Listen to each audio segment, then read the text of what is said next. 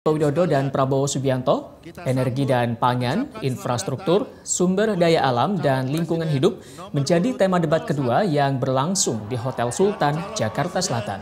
Kali ini Capres nomor urut 02 Prabowo Subianto mendapatkan giliran pertama menyampaikan visi misinya. Swasembada pangan serta kesejahteraan petani dan nelayan menjadi fokusnya dalam debat kali ini.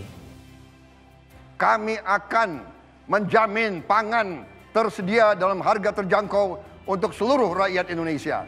Dan dan kami akan menjamin bahwa produsen, petani, peternak, petambak, nelayan harus mendapat imbalan penghasilan yang memadai. Itu komitmen kami. Kami juga akan segera turunkan harga listrik, harga makanan-makanan pokok, dan kami akan menyiapkan pupuk Sementara itu, Capres Petahana Joko Widodo memaparkan perkembangan infrastruktur pedesaan yang berkembang di masa kepemimpinannya. Jokowi juga membahas pengurangan energi fosil yang akan menjadi perhatian pemerintah selanjutnya. Ke depan kita ingin sebanyak-banyaknya mengurangi pemakaian energi fosil, sehingga pemakaian biodiesel, pemakaian green fuel akan kita kerjakan. Sudah kita mulai dengan melakukan produksi B20.